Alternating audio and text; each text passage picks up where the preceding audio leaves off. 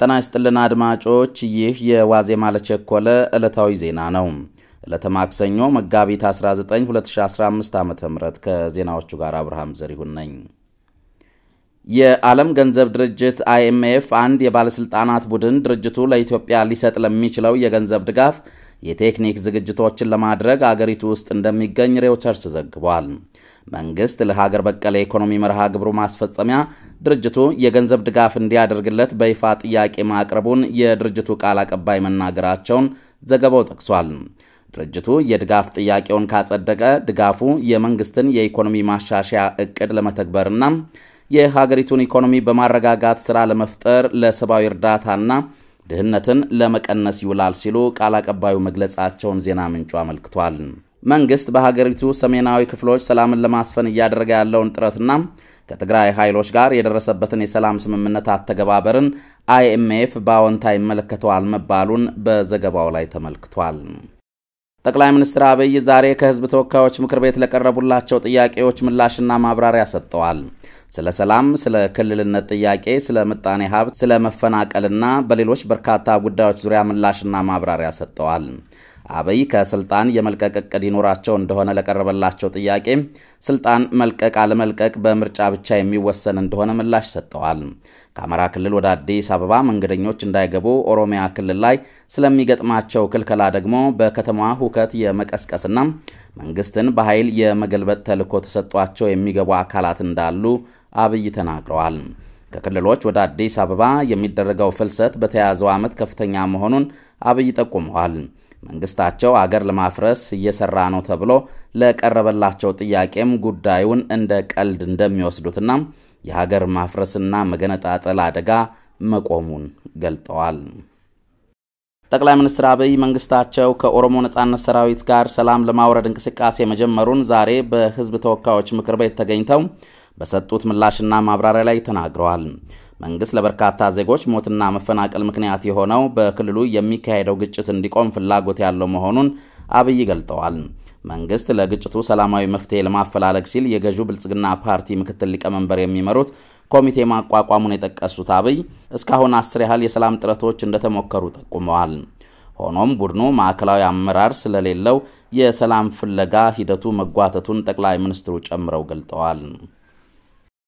የቤንሻንጉል ጉሙዝ መንግስት ወደ ሰላማዊ ኑሮ ለተመለሱ የቀድሞ ታጣቂዎች በኢኮኖሚ ተጠቃሚ የሚያደርጉ አንዳንድ ጥቅማ ጥቅሞችን ለመስጠት መወሰኑን የክልሉ ብዙሃን መገናኛ ዘግቧል።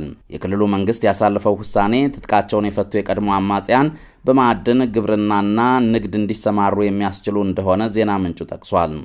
ይህንን ውሳኔ ተግባራዊ ለማድረግም የክልሉ መንግስት የእርሻ ትራክተሮችን፣ የማዕድን ማውጫ መሳሪያዎችንና የልማት ሥራ ማስጀመሪያ መነሻ ካፒታል እሰጣለሁ ማለቱን ዘገባው ጨምሮ ገልጧል።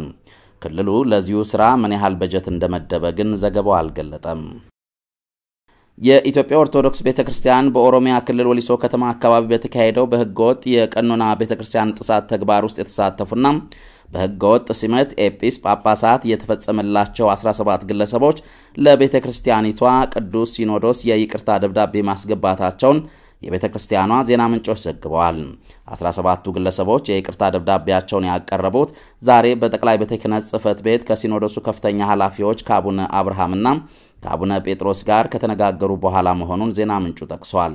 አቡነ አብርሃምና አቡነ ጴጥሮስም የይቅርታ ደብዳቤውን ለቅዱስ ሲኖዶሱ ለማቅረብ ቃል መግባታቸው ተገልጧል። ቀሪዎቹ ግለሰቦች በቅርብ ቀናት ተመሳሳይ የይቅርታ ደብዳቤ ያስገባሉ ተብሎ እንደሚጠበቅ ዜና ምንጮቹ ጨምረው ጠቅሰዋል። የአፍሪካ ህብረት ኮሚሽን ሊቀመንበር ሙሳ ፋኪ ሰሞኑን በኬንያ የተቀሰቀሰው ጸረ መንግስት ሁከት እንዳሳስባቸው ዛሬ ባወጡት መግለጫ አስታውቀዋል። ፋኪ ሁሉም ወገኖች ሁከትን አስወግደው የሀገርን አንድነት መሰረት ባደረገ መልኩ ልዩነታቸውን በንግግር እንዲፈቱ ጥሪ አድርገዋል። ፋኪ በዚሁ መግለጫቸው ባለፈው ነሐሴ በሀገሪቱ በተደረገው ፕሬዝዳንታዊ ምርጫ ዊሊያም ሩቶ ማሸነፋቸውን የሀገሪቱ ጠቅላይ ፍርድ ቤት ያረጋገጠው ሀቅ መሆኑን ጠቅሰዋል። ታዋቂው የተቃዋሚ ፓርቲ መሪ ራዮላ ኦዲንጋ ትናንት በጠሩት የተቃውሞ ሰልፍ በተቃዋሚዎችና ፖሊስ መካከል ግጭት፣ ከፍተኛ የንብረት ውድመት መድረሱን የሀገሪቱ ዜና ምንጮች ዘግበዋል። ከተቃውሞ ሰልፉ ዓላማዎች መካከል መንግስት የኑሮ ውድነቱን እንዲፈታና ተቃዋሚዎች ተጭበርብሯል ለሚሉት ፕሬዝዳንታዊ ምርጫ ፍትህ መጠየቅ ይገኝበታል። ንግድ ባንክ ዛሬ 1 ዶላር መግዣ ዋጋ 53 ብር ከ88.33 ሳንቲም እና መሸጫ ዋጋው 54 ብር ከ96.10 ሳንቲም ሆኖ እንደዋለ በድረገጹ ገልጧል። የአንድ የእንግሊዝ ፓውንድ መግዣ ዋጋ ደግሞ 63 ብር ከ09.33 ሳንቲም እና መሸጫው 64 ብር ከ35.52 ሳንቲም ሆኗል።